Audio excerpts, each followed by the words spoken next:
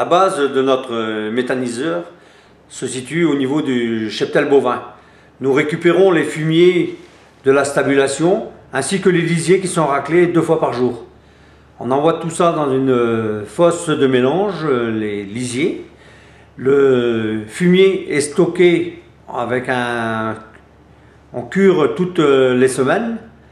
Il est stocké dans un silo, comme un silo maïs. À côté, nous avons euh, nos cannes de maïs et nous mélangeons tout ça trois fois par semaine.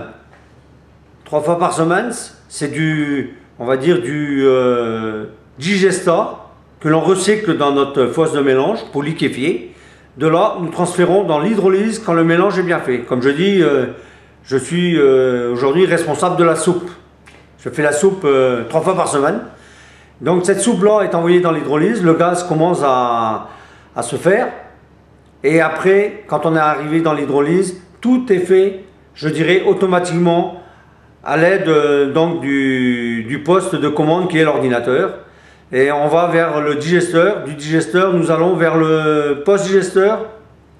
Du post-digesteur, le gaz est pompé dans le ciel gazeux, le biogaz qui est ensuite transformé en biométhane après euh, l'épuration qui est faite euh, et ensuite euh, vers le poste d'injection qui se situe en bout d'exploitation.